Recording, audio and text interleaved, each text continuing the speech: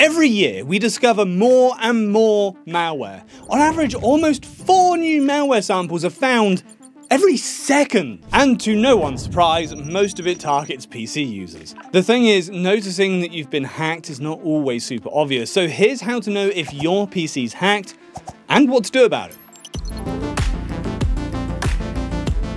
Learning how to check your PC is hacked or not comes down to noticing five, let's say, symptoms. You might catch them all, but it could be just one that will have you questioning, is my PC hacked? So let's go through them. First up, unusually slow performance. Alright, sure, your device might just be in desperate need of retirement, but if it worked fine and then suddenly started to get unusually slow, it's time to check what's going on. In this case, the best way to answer the how do I know if my PC's hacked question is to have a look at the task manager or the activity monitor if you're using a Mac. It shows what apps and processes are currently running on your PC.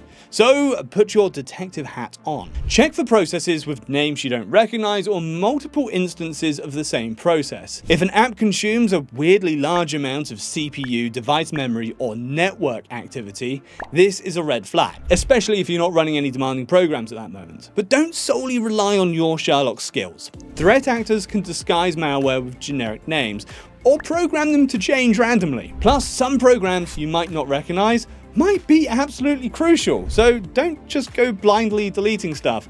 I'd recommend you Google the specific names or read up on them on tech forums or subreddits. Now, for sign number two security software issues. If you notice that your security tools are disabled, that's a red flag. If they're on, but they don't seem to work properly, that's a red flag. It should always be on, and you should be able to run them without any strange interference. Now the thing is, most people are late to notice this, so unless you're regularly running manual scans, check up on your security system once in a while and don't ignore the early signs. Your PC itself could have some strange things happening. Cursor moving, clicking things on its own, webcam light turns on for no reason, microphone mysteriously picking up audio, disappearing files, randomly appearing files, the PC itself turning on randomly at 3am. Nope, it is not time to call the Ghostbusters. All this unusual activity is usually an answer to how do I know if my PC has been hacked? And so are account issues.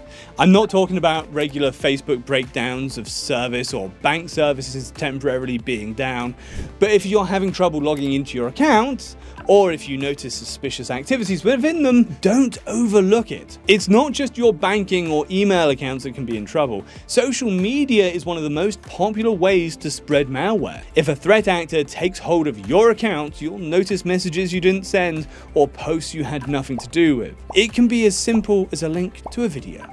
Most of this malware spreads by tagging lots of people, and if your friends click on it, they'll likely get hacked too. Well, hey, at least you'll be hacked together. Sharing's caring. Lastly, there's the very obvious sign malware errors. It could be your Windows security screaming, hey, I'm infected, or a straight up ransomware message saying that your data is locked and you better pay up if you want to get it back. If you can't turn it off and you're still questioning, have I been hacked? Yes, you definitely have been. So, what to do when your PC gets hacked. Immediately, yank the internet cable out, or at least turn the Wi-Fi off. Then follow it up with an antivirus scan. Pick a reliable provider, something like Bitdefender, Norton, or even Surfshark Antivirus.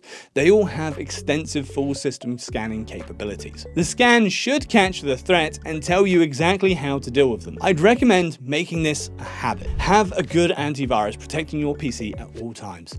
Also, back up your data from time to time. Just don't do it after your PC's been infected because you won't know which files are malware in disguise. If you're dealing with ransomware and you're completely locked out of your own PC, then seek professional help and please keep in mind that paying the ransom is usually a bad idea. The hackers are just going to ask you for more money or just disappear with the digital wins. Now after all this, don't forget to change your password for all of your online accounts. Make them all different and strong so if one account gets hacked, others will stay perfectly safe.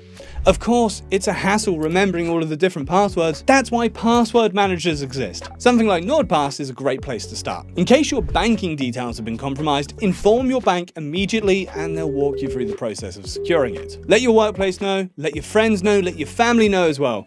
They might receive some weird messages and interacting with them could lead to their devices getting hacked too. Overall, yeah, getting hacked's a nerve-wracking experience. But honestly, if you know the signs and you know the steps to deal with it, you'll be fine. I promise. I hope this video helped you out. Let me know in the comments if there's any further questions. Don't forget to like and subscribe to the channel. It would really help me out. Thank you, and have a good one.